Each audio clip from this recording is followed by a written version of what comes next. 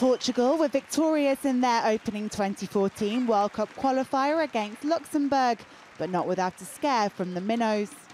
With Real Madrid star Cristiano Ronaldo leading the team, Portugal were expected to win comfortably at the Stade Josy Barthel. But instead, it was Luxembourg who took a surprise lead after just 13 minutes. Daniel da Mota was the man who put the hosts ahead, his powerful shot leaving goalkeeper Rui Patricio with no chance. It was just de third goal for the national team.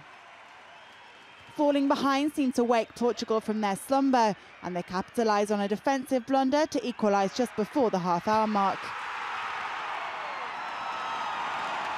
Ronaldo was in the right place at the right time to start home his fifth goal in his last five matches for Portugal.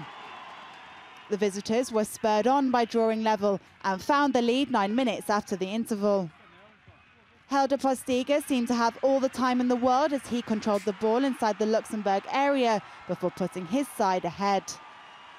Luxembourg couldn't muster another challenge after that, with Portugal easing to a comfortable victory.